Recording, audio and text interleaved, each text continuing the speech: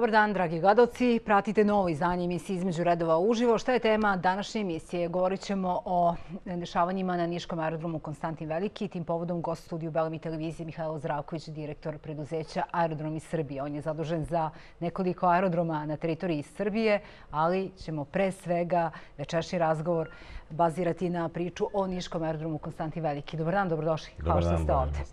Evo, pre nekoliko dana u poseti vam je bio e, ministar e, Momirović koji je obišao radove na izgradnji nove terminalne zgrade.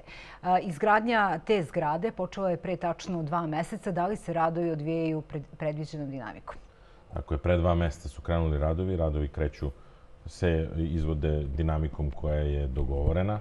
Dakle, u ovom trenutku, pored zemljanih onih pripremnih radova, tu su i dalje aktuelni betonski, armirački, radovima, deo nekih elektroradova koji se tiču izmešćanja nekih instalacija koje su bile ispod pozicija same terminalne zgrade, ali ovde je već gotovo sada i za razliku da kažem od pre nekoliko dana što smo mogli da prezentujemo javnosti, ima napretka, sada je i na tom jednom delu već stavljena i ta plo, prva ploča i to ide već, e, e, se nazire, da kažemo, konture te same zgrade. Još bolje... 7500 metara. 7500 kvadrata je u pitanju nova terminalna zgrada ko, u, u, da kažem, u ovoj fazi. Sam ceo projekat, taj, da kažem, će se odvijati u, u, u tri faze. Prva faza je izgradnja ove nove e, terminalne zgrade koju sad radimo. Druga faza je puštanje nje u rada, a rekonstrukcija ove postojeće koje sada mhm. koristimo. 2500 kvadrata, ili tako? Da, 2500 mhm. kvadrata. I treća faza je spajanje te dve u jednu funkcionalnu celinu, kao što je i zamišljeno celokupnim projektom. I šta bi to konkretno značilo u praksi? Tih 10.000 kvadratnih metara znači obsluživanje koliko aviona u jednom trenutku? Putnika iz koliko aviona? Znači, u, o, ono što će nova terminalna zgrada nama da donesi jeste komfort putnicima koje nismo imali uh mhm. -huh. do sada. Znači, naše najveće primetbe naših putnika jesu na, Čekaj.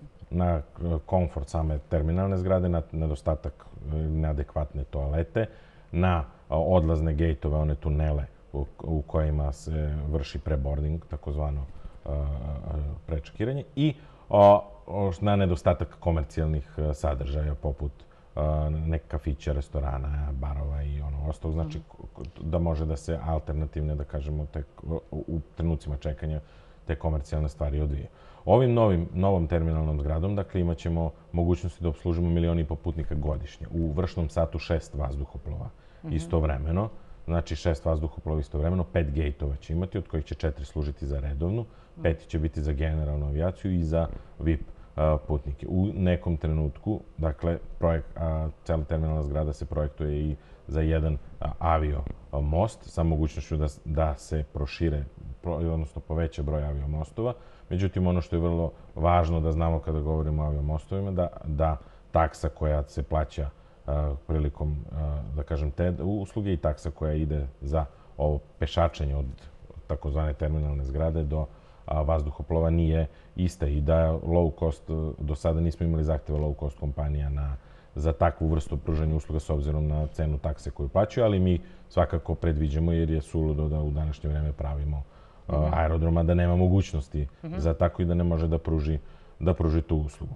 Znači, radi se po a, a, svetskim standardima, to su ajatini standardi, po optimum tom standardu, u kome vreme čekanja ne može da bude duže od 10 minuta na bilo kom šal, da li na šalteru za uh mhm. -huh. čekiranje karte, da li na pregledu za uh mhm. -huh. obezbeđivanje, da li na, a, samom, na, samom, a, na samoj registraciji a, za let. Zgrada će biti savremena, imaće mogućnost od, za 450 kvadrata komercijalnog prostora za free shop, za free shop jedan veliki, ozbiljan, za restorane i kafiće kako u javnoj zoni, tako i u restriktivnoj. Znači, A sada? Će, sada, nažalost, imamo jedan veliki restoran od 406 kvadrata koji je prazan, za koga nemamo interesovanja. U nekoliko puta smo davali oglase, niko nam se... I nekoliko puta smo govorili nije, na tu temu. Nije, Ali vidite, to je zaista neverovatno prosto. Prosto... Da niko nije zainteresovan imajući u vidu da bi tamo bilo neke zarade definitivno, zar ne? Pa, ne znam šta da vam kažem, prethodna tri zakuca smo na sudu, nisu nam plaćali redovno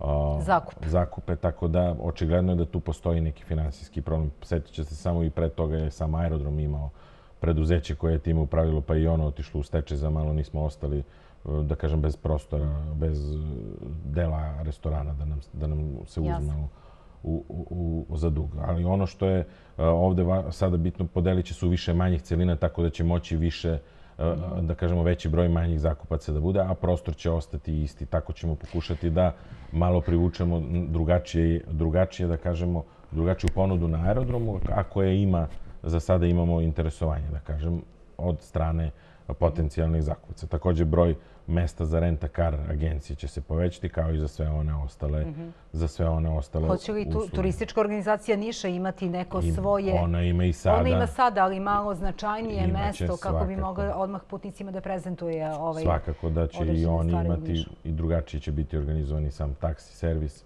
koji Dobro. sada nemamo u nekom smislu organizovan na aerodromu, već je individualan. Znači sve one, uh, sve one usluge koje mm -hmm E, da kažem, koji imaju na jedne savremenim aerodrome, moći će sada da se realizuju drugačije, imajući u vidu investicije koje, će, koje se dešavaju kada govorimo o terminalnoj zgradi i koje će se dešavati u budućnosti kada govorimo o proširenju platforme i o proširenju, odnosno uređenju celokupno parternog uređenja ispred aerodroma. O tome ćemo nešto kasnije. Jasno, e, objekat je vredan 11 miliona evra. Ko konkretno finansira upravo izgradnju ove znači, zgrade? I izgradnju uh, sprovodi, sprovodimo mi, dakle Aerodromi Srbije, zahvaljujući sredstvima vlade Republike Srbije i nadležnog ministarstva građevinarstva, saobraćaja i infrastrukture. Sredstva su obezbeđene iz budžeta za 2021 godinu, znači ne, nema bojazni da, da li će se investicija realizovati ili ne.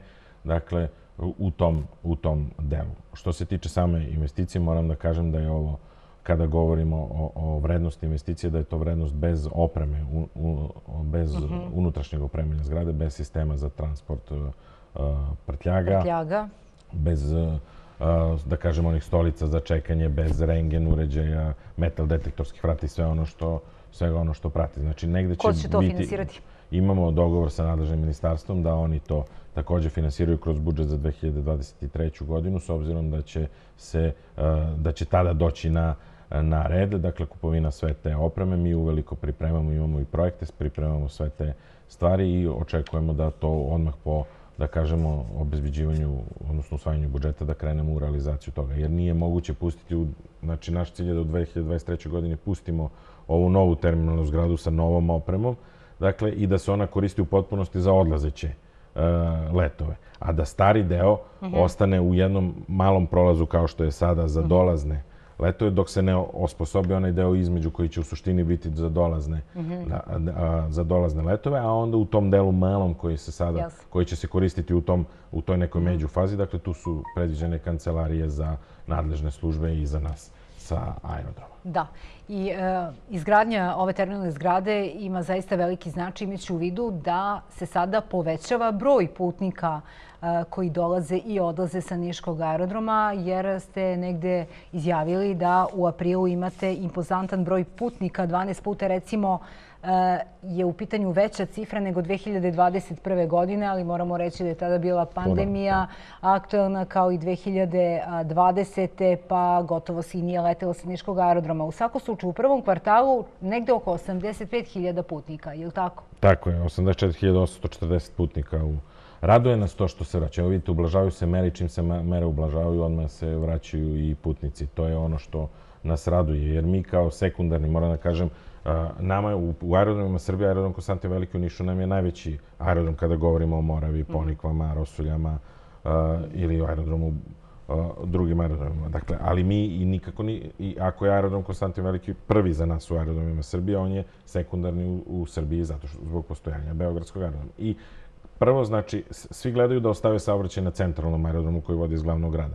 Dakle, a da se ovi drugi redukuju u zavisnosti od potražnje. Raduje nas to što se vraća, raduje nas to što su avioni stvarno puni i što kompanije razmišljaju o proširenju, što su uvele dodatne linije, tip, dodatne, ne linije nove u smislu, nego dodatne operacije za Bazel, pre svega mm -hmm. sa dva povećali na, na tri, evo Beč. Dobro. I sada imate situaciju da iz Niša za Beč možete da letite svakog dana osim nedelje. Znači, vi, da, vizer, da, da, vizer leti ponedeljak, sreda, petak, Rajan leti četvrtak, uh, utorak, četvrtak i subotu. Znači, mm -hmm. samo nedelje nemate pa krenu. Znači, možete svaki dan... I hoćete da kažete da su avioni popunjeni. I popunjeni. Zato što ljudi vole kad imaju sigurnost neku i stan. A mi smo, znači, ustanovili da, imamo sigur, da imaju sigurnost. Znači, kod nas vrlo mali broj uh, uh, otkazanih, otkazanih letova. Da, znači, nemamo kašnjenja, da kažem, što se prouzrokovana sa strane aerodroma, sa strane aerodroma, tako da sa te strane smo pouzani i ljudi vole da putuju. Pri tome smo i brzi aerodroma u smislu da se brzo prođe da ne morate da dolazite kao mnogo ranije kao na Beogradskom na, da, na Beogradskom. I plus Koliko cene linija? karata su izuzetno povoljne u odnosu. Ali vjerovatno zavisi od trenutka rezervacije. Naravno, ali... Sve to relativno tako. tako. Ali koliko, koliko imate letova znači, na nedeljnom nivou? Na nedeljnom nivou sada, znači iz Niša može da se leti ako govorimo o Vizeru Malme, Dortmund, Memmingen, Basel, Beč, dakle to su pet. Stok, Ryanair leti Stockholm, Bergamo, Maltu i Beč i evo sada od 1. juna uvodi krv, znači to je još krv. pet, mm -hmm, da, dobro. to je još pet, deset. I uh, Air Srbija leti do Beograda, Kelna, Frankfurta, Ljubljane, Istanbula, to je još 5-15. I uvodi sada od sredine juna uh, Tivati, Atinu, to je 17. ukupno destinacija. Kada govorimo o redovnom... Da, to je 7 od strane Air Srbije. Da. Mm -hmm. Kada govorimo o redovnim letovima, kada govorimo o čarter letovima. Ova sezona takođe možemo da se pohvalimo. Prošle godine je bila jedan, jedna serija charter letova, znači na 10, odnosno 11 dana uh, tokom celog leta. Ove godine imamo pet serija. Znači, od toga su tri serije, najavljene su tri serije za uh, Antaliju, jedna po prvi put za Alanju, dakle to je novost Znači, svi oni koji idu tamo u, u, u da kažemo, putnici koji žele da idu u, do Alanje, neće više letiti do Antalije pa autobusom nekih da. još sat da, i po da, dva, da, da, da, nego će direktno ići za Alanju. Alanju. I imamo prvi put Hurgadu. Mm -hmm. Da, da, znači, pr prvi put Hurgadu. I mi se nadamo da će takođe... Prvo, interesovanje je ranije bilo za Hurgadu, baš. Sve, sve veći broj Srbija, I, Srba odlazi tamo, zbog toga pitam. Ja verujem da, da će, da će ove destinacije imati uh, putnike i da će to takođe doprineti uh, negde našem rastu i pogotovo imajući u vidu da čarter mm. letovi se naplaćuju skuplje u odnosu na, redovnu, na, redovne, na redovne letove.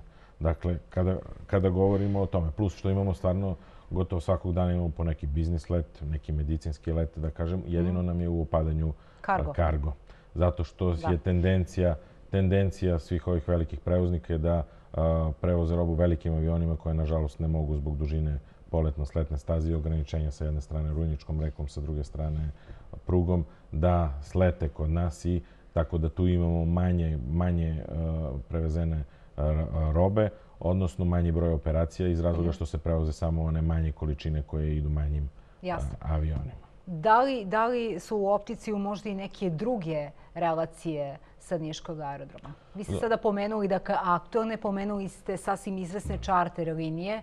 Da li se razmišlja o uvođenju neke nove relacije? Da. Svakako da mi nismo ti koji uvode nove destinacije. Niste vi, ali vjerojatno ste čuli. Sa, razgovaramo non stop sa kompanijama, pre svega sa našim partnerima iz Vizera i Ryanaira koji imaju, na, da kažemo, najveći mogućnost širenja s obzirom na broj aviona koji su naručili i koji im polako pristižu, ali takođe i sa nacionalnom avio e, kompanijom. Ja verujem da će već od zime biti nekih novih, nekih novih destinacija, jer svi, kada razgovaramo sa njima, imali smo i posetu jedne delegacije pre -huh. nekoliko dana, dakle kada razgovaramo s njima, oni su sada već uvereni da, da će biti prostora, jer oni prosto nisu želeli da se šire dalje zato što nismo imali uslova. Uh -huh. Znate kako, znači oni kad razmišljaju o uvođenju novih linija, razmišljaju o putnicima i o vazduhoplovima. Mi da, da li ste vi spremni da prihvatite putnike? Mi nemamo problem sa vazduhoplovima, imamo kompletno novu opremu, smo zanovili, dakle, sve one mašine sad koje su ovde ostali su nam samo više, nemamo onih žuto-plavih koje su, zbog kojih su nas svi smeli, imamo samo još one traktore plave koji su relativno novi iz 2016. 17. godine su, su kupljeni. Dakle, i njih ćemo da zamenimo i da, da, da dobijemo. Sada su e, elevatori, oni što voze kofere, su električni, novi da kažem, stepenice su samohodne, takođe ove nove, imamo nove agregate, nove vazdušne startere, novi pushback. Za zimsku službu smo celokupno novu opremu, znači imamo dva nova vozila za odleđivanje snega, dva, dve nove mašine, takozvani vučni voz koji čiste sneg. Dakle, to su ogromna sredstva, negde preko, preko mislim, oko 600 miliona da je država uložila u u opremanje samog Niškog aerodroma u smislu da ta oprema koja je ranije bila ili zastarela ili pozajemljena, odnosno od Beogradskog, od Beogradskog aerodroma, aerodroma ste dobili te donacije. Sada je kompletno nova. Dakle, mi tu nemamo sada bojazni sa te strane. Sada imamo bojazne za kapacitete, evo imamo već dva vazduhoplova parkirana već duže, duže vreme i to je za nas, za nas prihod. Dakle, mi mm. moramo da se borimo da budemo samo udrživo, bez obzira na sve uslove u kojima, da, da. u kojima poslujemo. Da, ali u ovom trenutku vi istovremeno možete da obslužite koliko putnika iz koliko aviona u, u datom trenutku? Dakle, mi u, u, ovom, ovoj staroj zgradi? U ovoj staroj zgradi. Znači, mi možemo u ona dva tunela, takozvana, da radimo dva prebordinga i još dva vazduhoplova mogu da stanu u onom gejtu. Mi imali smo situaciju kada smo i šest radili istovremeno, ali to je onda se, da kažem, vezuju ljudi, puna bude i, i ovamo terminalna da. zgrada, malte ne, ispred se čeka i pun hol i puni gate. Dakle, Što je mnogo. Da, mnogo je i pr prvo ne, neuslovno je, nemamo te kapacitete. Zgrada je pravljena 86. godine za kapacitet od 100.000 putnika. Mi smo imali, da kažem, 2019. koja nam je najbolje, 422.000 putnika. Znači, 2019. vam je negde najbolje, da. je li tako? 419.000 putnika. 422.250. 422.000 da. je li tako, na godišnjem nivou? Da, i tada je april, u, u, u, to, u toj godini april je bio 29.480. A ove godine nam je april 33.415. Da, da. Znači, ima tendencija Dobre. da će biti. Tradicionalno, od aprila ili maja, mm. zavisi kada se Imate padne... Imate veći broj putnika. Uskrs kada je i kada se, mislim, prvi maj je prvi maj, ali uskrs kada je, da li se povezuje za prvi maj ili je ranije. Mm -hmm. Znači, tradicionalno april i maj budu tu negde mm -hmm. na, na, tom, na tom broju oko 30.000. A jun, jul, avgust su da kažem, tradicionalno bolji meseci kada mi sada očekujemo da imamo veći broj putnika od ovih, pogotovo imajući u vidu i ove, i ove čarter, i ove čarter letove. Da. Prema poslu gledamo reklame pa ćemo onda nastaviti. Reklame.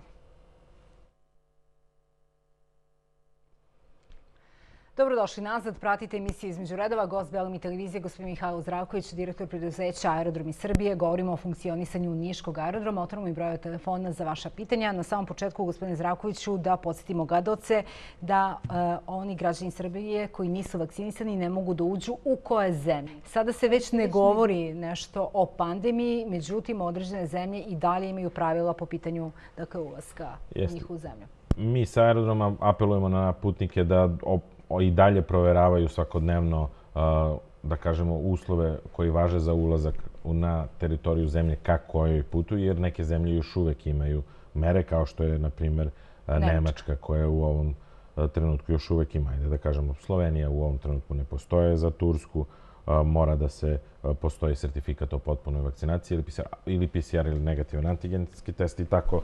Ali ono što kažemo, više nije sada pitanje ono da li i ima, odnosno da li je potreban onaj PLF obrazac i sve ono što je bilo, već sad pitanje o tome da li zemlje priznaju vakcinaciju ili ne i tu se negde stavovi menjaju svakodnevno i nije unificirano, da kažem, ni na mhm. teritoriji Evropske Dobro, ali oni koji su vakcinisani kineskom vakcinom, u koje države oni recimo ne mogu da, da, da uđu?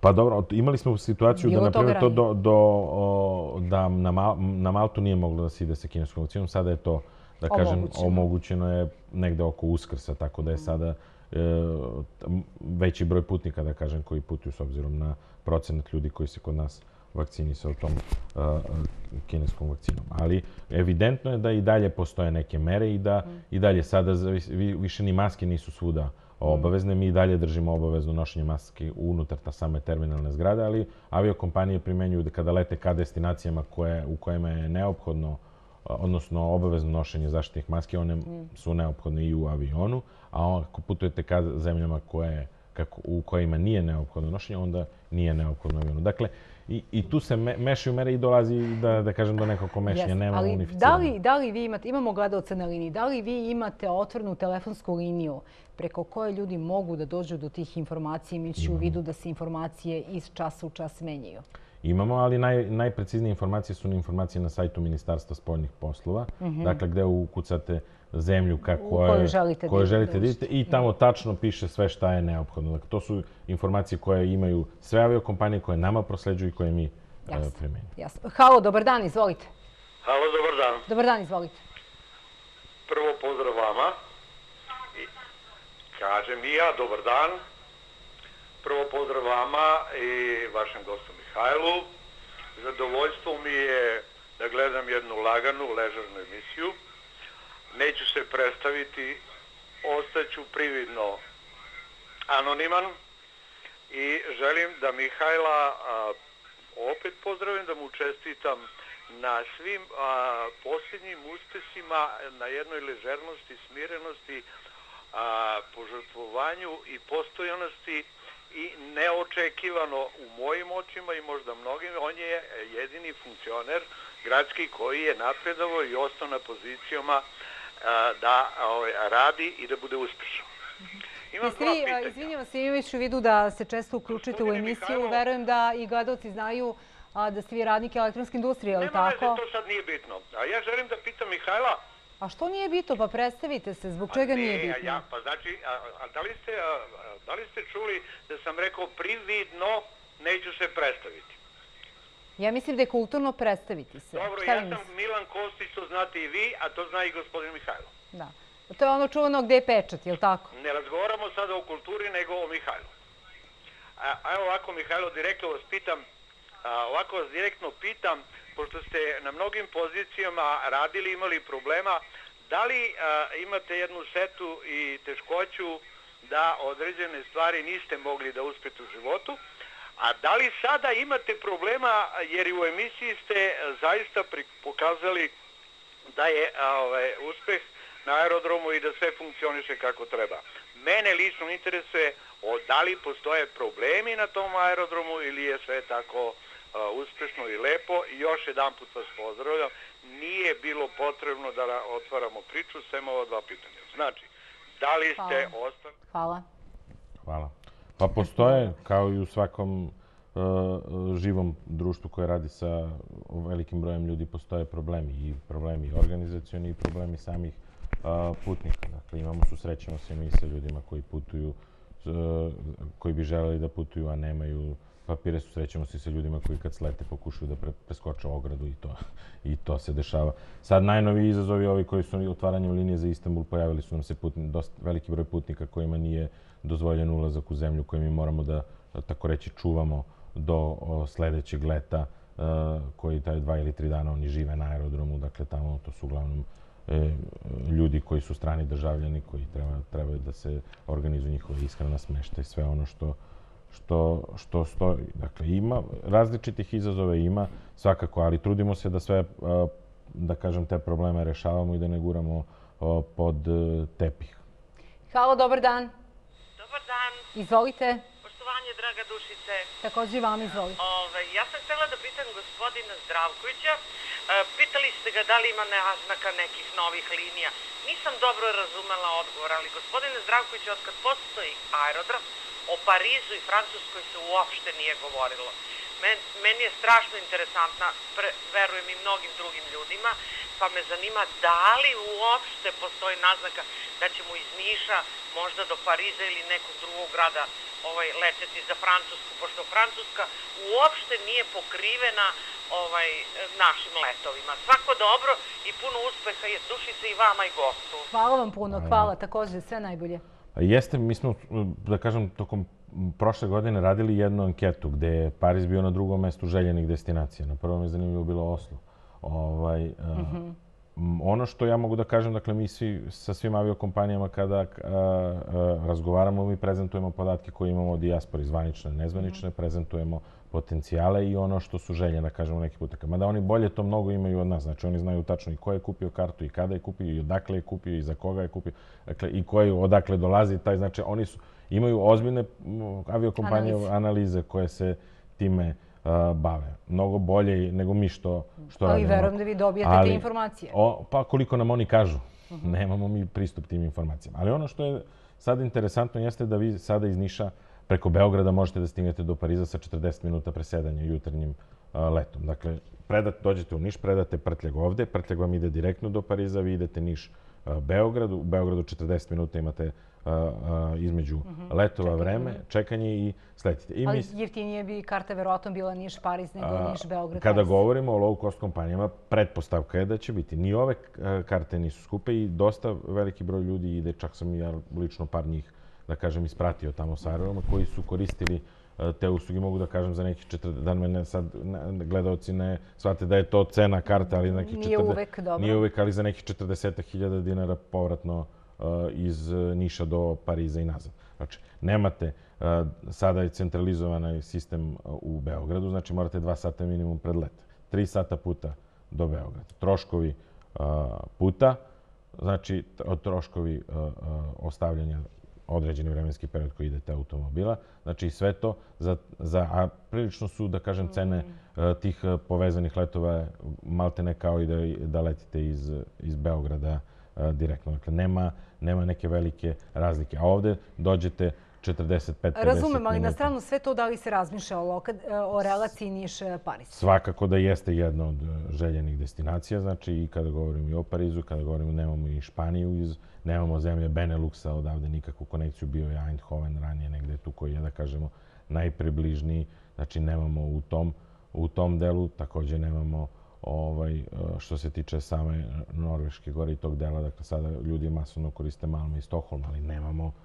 Da kažem, taj ostrov. Da, to, da, to je zanimljivo, da. dosta veliki broj ljudi naših ide. Da. I, izvinjavam se, ono što je takođe bitno, što je sada, ajde zbog krize i rata u Ukrajini, nemoguće, ali taj deo tamo takođe se oko Rusije nismo imali direktne letove. Ono što mi možemo da kažemo i što pratimo, raduje nas da naš, naš partner Vizer ima svoju bazu u San Petersburgu koji su krenuli da otvaraju. Dakle, možemo eventualno sa njima razgovarati. Oni takođe imaju svoju bazu u Abu Dhabiju koju kao mhm. Vizer, kao kompanija koji mogu da lete onda sa tih, sa tih destinacija. Dakle, to su neke stvari koje nam daju mogućnosti negde, da kažem, da nadu da će se širiti mreža, mreža destinacija iz Niša. Ali prosto i mi moramo da znamo, dakle, mi imamo taj kapacitet ljudi, da kažemo, koji živi u ovom delu jugoistočne Srbije, koji ima. I moramo da uzmemo u obzir postojanje okolnih aerodroma kao što su Sofija, Skopje i Priština.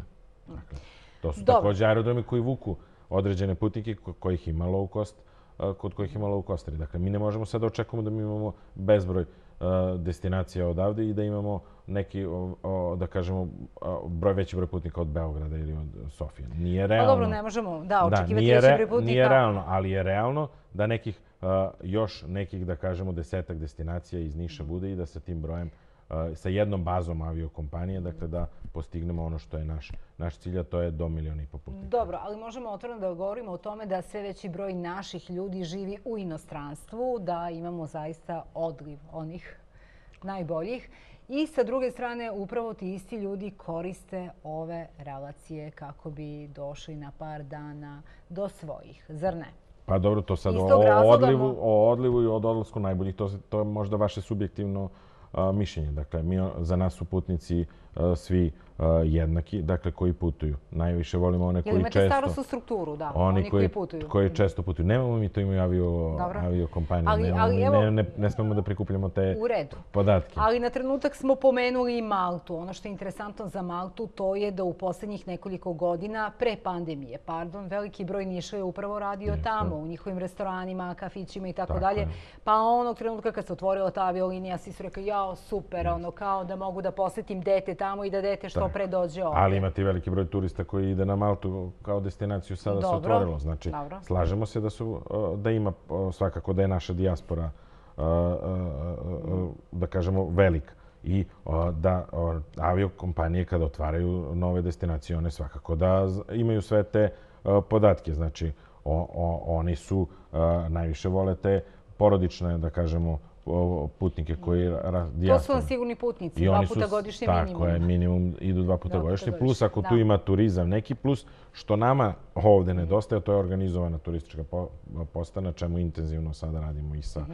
gradom. Dakle, da grad Niš bude stožer, da kada dođe neko tri ili četiri dana koliko su uglavnom koliko je uglavnom razmak između letova, dakle da ta 3-4 dana ljudi obiđu ceo naš region i da imaju, da kvalitetno provedu taj aktivni odmor. E, sad se otvara pitanje koliko smo mi e, vični e, da, da prezentujemo e, naš grad upravo tim ljudima ko, koji dođu i da to bude kvalitetan boravak, je li tako? Da, da obiđu Dobro. sve ove turističke destinacije u Nišu. Ono što raduje to sigurno je jeste otvaranje hotela i veći broj, da kažemo, mogućnosti tih ostvarivanja noćenja sa jedne strane, sa druge strane treba raditi i dalje na stvaranju te neke mm. jedinstvene i zajedničke turističke ponude, kako letnjeg, tako i zimskog turizma. Da.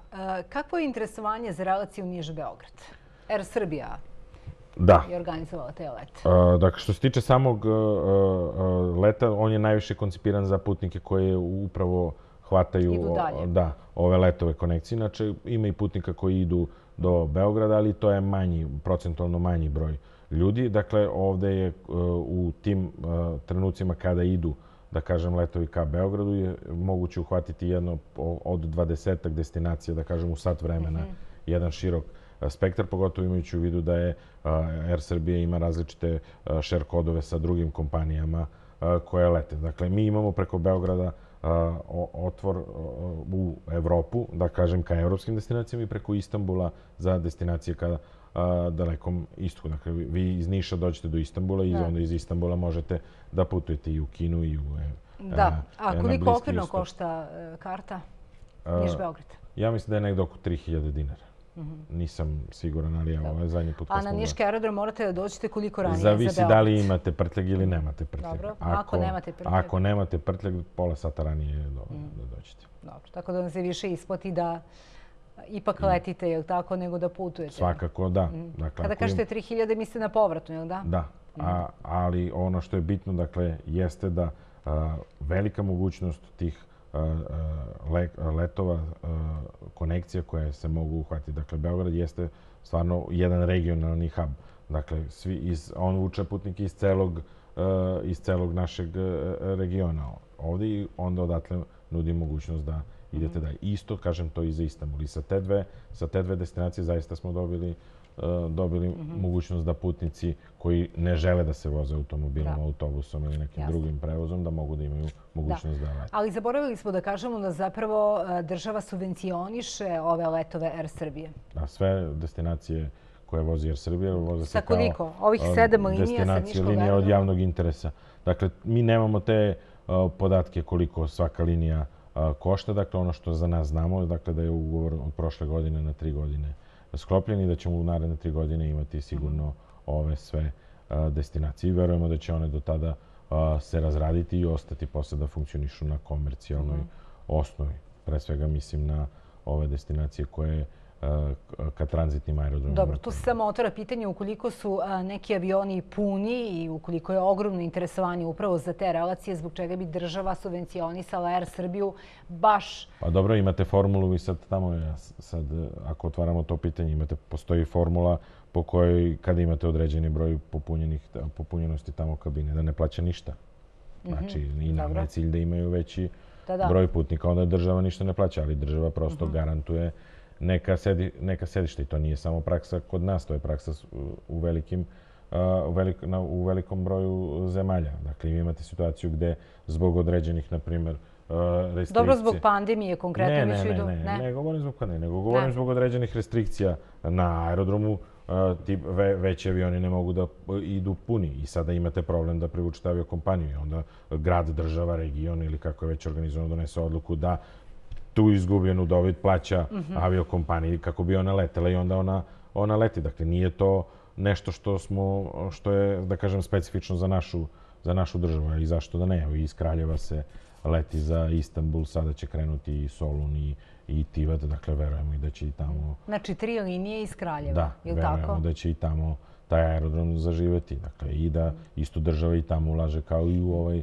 i u ovaj region ovde. Dakle, ono što nas ovde u Nišu... li to? Da, ono da, što je ovde u Nišu za nas, da kažem, bolje jeste što mi imamo low cost kompanije sa kojima smo napravili jedne, jedne dobre relacije i sa kojima možemo zajedno da rastemo imajući u vidu sve investicije koje se dešavaju. Znači, i samo proširenje terminalne zgrade i proširenje platforme, što njih najviše zanima, kao i proširenje ove, kako, ove, par, ove parternog uređenja napred za putnike. Ali znate šta još oni pitaju? Kaže, da li će imati, sad šta, šta je njihov sledeći korak? Ok, vi sad, kaže, pravite zgradu, e, terate nas da mi otvaramo bazu ovde. Baza znači minimum parkiranje jednog, dva aviona. Znači, zavisnosti od aviokompanije koji imaju svoju praksu. Kaže, da li ćemo imati servis tih aviona ovde? Znači, mi sada moramo da razmišljamo o sledećem koraku, znači o omogućavanju uslova da dođe neka kompanija koja se bavi servisiranjem vazduhoplova, da ne daj Bože kako avion tu ima neki kvar, da mogu na, da, da ga uvezu u hangar i, i poprave. Dakle, to sad nas tera na jedan novi, na jedan novi vid razmišljanja i ulaganja. Dakle, mi smo se do sada negde borili grčevito da sa opremom obslužimo vazduhoplove, sada smo u jednoj fazi gde imamo infrastrukturnu izgradnju da možemo da, ali moramo da razmišljamo i u sutradan o tome, o stabilnosti aviokompanije da. i o našoj samoodrživosti. Sans je poletno sletne staze, projekat je završen. Jeste, dobijena Dobro. je građevinska a, dozvola, dakle, sada očekujemo, da kažemo, aplicirali smo za finansiranje toga. Pre, pre, oko 524 miliona je dinara vrednost a, predračunska projekta. Dakle, to je gotovo projekat proširenja platforme sa za nekih 60.000 kvadratnih metara. Znači, sa sadašnjih... To je za parkiranje aviona. Da, sa sadašnjih 27 mhm. na kome imamo četiri parking pozicije, treba da dođemo do 9 parking pozicija i 87.800 kvadratnih metara. Nova, radimo na projektu rulne staze koja će tu, tu platformu povezati sa poletno-sletnom stazom na drugom kraju. Dakle, to je i projekat, radimo na projektu izgradnje tornja sa kojim smo imali, da kažemo, u urbanističkom smislu neke poteškoće. Otklonili smo sve to, sada završili evo, novu parcelaciju Ne, ne, čekajte, šta, e, ko će finansirati izgradnju kontrolnog tornja? Dakle, izgradnju kontrolnog tornja će finansirati da... nadležno ministarstvo građevinarstva saobraćaja infrastrukture preko mm. aerodroma Srbije i time nam omogućiti da od, da sutradan ubiremo kiriju od odnosno zakupninu od drugih avioprevoznika. Od kontrole, od kontrole leta konkretno koja mhm. može da koristi Ranije je bilo planirano ko je, ko je trebalo Ranije da finansira to? Ranije bila je, da kažem, takva konstrukcija mhm. napravljena da je smo mi izdali zemlju, zemljište kao aerodromi, neizgrađeno građevinsko zemljište kontrole leta, a da će ona izgraditi toranj. I oni su nam stvarno plaćali ljudi zakupninu za to neizgrađeno građevinsko zemljište. Međutim, oni su zbog celokupne pandemije i, i krize, da kažem, privremeno bili odustali. Onda je nadležno ministarstvo reklo dajte vi ne odustajte, nego ćemo mi da izgradimo s obzirom da je i kontrola leta državno preduzeće, a da izgradimo, a da omogućimo da aerodromi Srbije ubiraju veću kiriju i probamo da napravimo da aerodromi Srbije budu samo održivi da ne zavise od države, sa većom kirijom od zakupnine tornja, sa većim brojem putnika, dakle sa povećanjem komercijalnog prostora i povećanjem prihoda od kirije, sa povećanjem parking mm. broja mesta za robno-carinskom terminalu i omogućavanju dodatnih usluga tamo. Dakle, pokušat ćemo da negde napravimo da makar konstant, aerodrom Konstantin Veliki u Nišu bude samo održiv, pošto je to prilično teško u ovom trenutku govoriti za aerodrom Morava, za aerodrom Ponikve mm -hmm. ili za sve ove druge aerodrome, a svakako da je cilj države da ima opra, o, spremnu infrastrukturu aerodromsku na svim aerodromima i da može u bilo kom trenutku mm. da se stavi u funkciju i da to vrši preko nas. Sada u ovom trenutku od ubiranja ovih taksi, koji procenat e, troškova vaših sobstvenih vi možete da pokrite sa ovim brojem putnika?